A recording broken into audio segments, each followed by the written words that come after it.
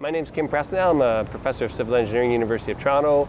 My area is building science, and my research areas include looking at building performance, building envelopes, and low energy buildings. My, my current research areas um, really is in, in, what my students are interested in.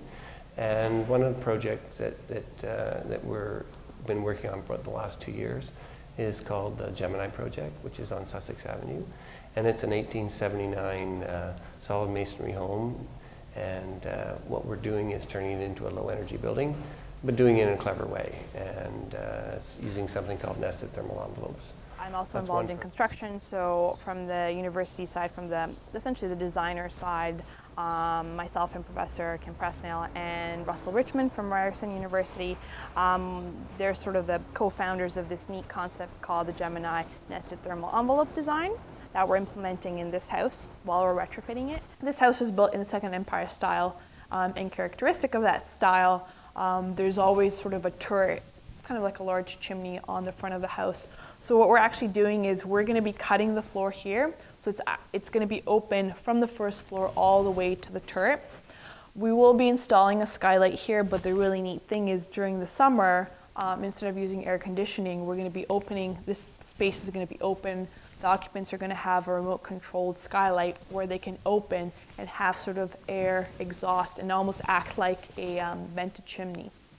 So another research project that we're working on is related to the energy performance of uh, high-rise multi-unit residential buildings and basically apartment buildings here in Toronto. And the wonderful thing about Toronto is it's a wonderful living lab. We have lots of high-rise buildings. Um, and most of our buildings were built in the 60s, 70s, and 80s, um, but we're still continuing to build them today. And we're monitoring them to find out how much energy they're actually using, and then we're looking for ways to improve their energy performance. Another project that we're working on uh, is related to thermal mass in concrete and buildings. And what we're looking at is trying to develop a tool to make it easier for designers to account for the energy benefits of incorporating thermal mass in buildings. And the short story is that uh, we can actually delay uh, the, and it's, it's called shifting the peak, delay our, our, our cooling demand uh, with thermal mass. And we can also reduce the amount of cooling that's required. So what, what makes a building more sustainable? I think that's the best way to phrase it. Ultimately, I, there's a big debate out there. People look at some of the building rating systems and try to decide what makes a building more sustainable. But in fact, if you look at a building and over its life cycle, whether it's 30 years, 40 years, or 80 years, the most important single factor that's going to determine how sustainable that building is, is its energy performance. Operational energy is 80% of a building's impact on the environment. Embodied energy, these other things are important, but that component is the biggest. And what the occupants see, what the consumers see, they see comfort and they see better air quality when we build lower energy. They also see savings in their pocketbook. And that saving that in the future will be even greater as energy prices rise. And they're going to rise faster than inflation, and we know that. But ultimately, more sustainable to me means low energy. Building at low energy, low impact. And we're not at zero energy. We still need some. We're still in a cold climate. We still need some heat. We may still need some cooling energy. But if we can reduce those demands, then we're building more and designing more responsible buildings. The building industry is changing. We have many more building products and new products, innovative products, and they're applied in innovative ways. And oftentimes when that happens, we get some great successes, but we also get failures. But we learn from those failures. So I, the area of building science is often, it's not really about trial and error, but in our research what we're trying to do is take these new products, apply them in new ways, and test them in the laboratory, test them in field tests to show that they work.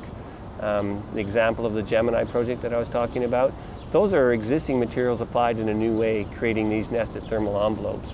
And, and then if I look at the uh, multi-unit residential building research that we're doing and and looking at ways of retrofitting. We're taking existing materials, but we're applying them in an innovative way. Um, we're looking at enclosing apartment balconies and using them as a heat recovery zone.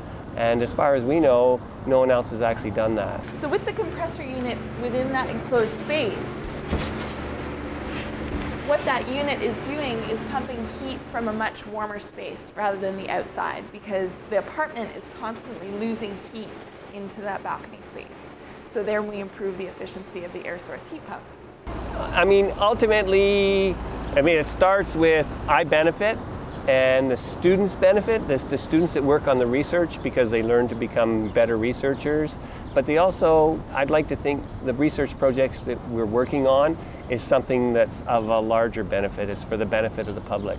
Because ultimately, it's about low energy, saving energy, which is ultimately carbon, which is better for us, it's better for cost, it's better for um, the occupants of the buildings because they're more comfortable, but ultimately it's better for the planet because we're using less energy, means less CO2 in the atmosphere. So, and then I, I guess the last one, and, and certainly not the least, is the, the students that we end up teaching here.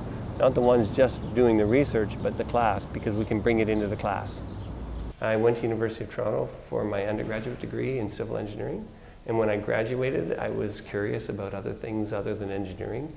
And um, so I went off to law school and became a lawyer. And although I practiced for a very brief period of time, um, the short story is I found what I truly loved was engineering and teaching engineering.